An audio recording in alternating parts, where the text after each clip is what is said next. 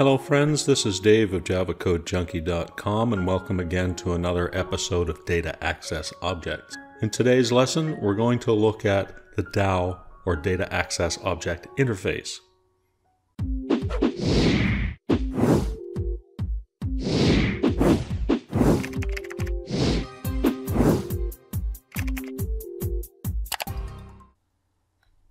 The Data Access Object Interface defines the standard operations to be performed on model objects. This class will be an abstraction of the class that will hold the concrete implementation of our persistence logic. Let's go to Eclipse and create a new class. In our project, we're going to right-click on the com.javacodejunkie package, and then click New and click Interface. The interface that I'm going to create is employee DAO. And click Finish. And in this class, I'm going to define all of the methods that we're going to use in our data access object interface. The first returns an employee object. Get will pass an int, which will be the ID of the employee object. And this method will throw an SQL exception or a SQL exception. Next, we'll get all employees, and that will return a list of type employee. Get all. Also throws a SQL exception.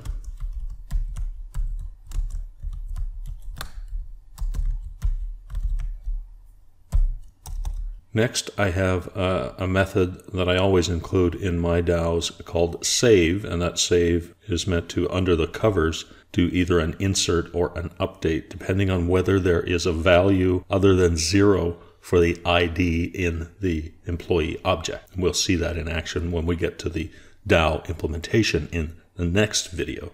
Returns an integer, save, employee,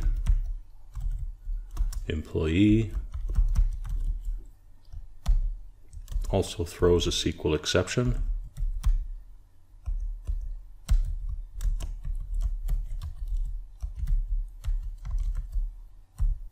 Then we have insert, also returns an integer.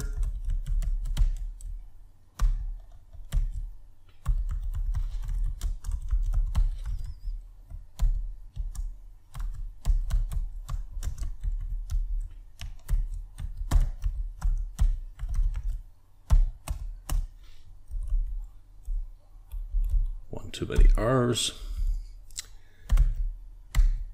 Update.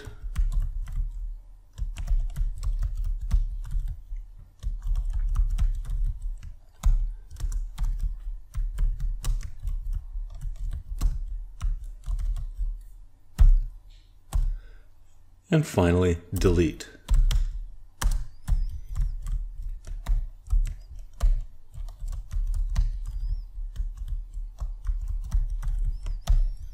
So this is the employee DAO interface. If you look at the contents of this interface, you'll see that it will be very similar for every class that we need to write that requires persistence or saving of data to a relational database or, or elsewhere. So what I'm going to do now is I'm going to turn this into a generic interface, which we're then going to extend specifically for our employee DAO. So let's change this to just DAO, and then I'm going to provide a type for the DAO. And now everywhere we see employee, we're going to change that to T. So I'm going to use the refactor rename and switch that to T. And then everywhere that we have employee, I'll also switch that to a lowercase t. And now we have a generic interface.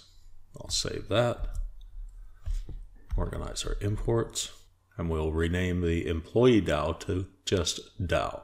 And now we're going to create another interface, right click, new interface, and this is going to be our employee DAO. Click finish, and then this employee DAO will extend the DAO that we just created.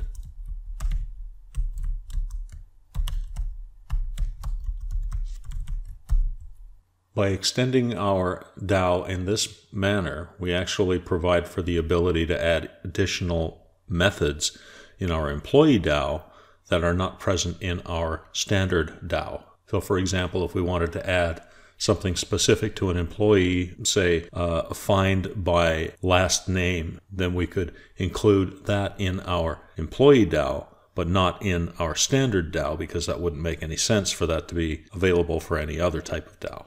In the next episode, we're going to be creating a concrete implementation of this employee DAO, so I hope you'll join me then. If you've enjoyed this video, please give it a thumbs up and consider subscribing so that you don't miss any videos when I release new content.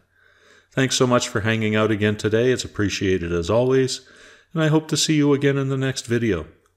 Until then, take care and keep on coding.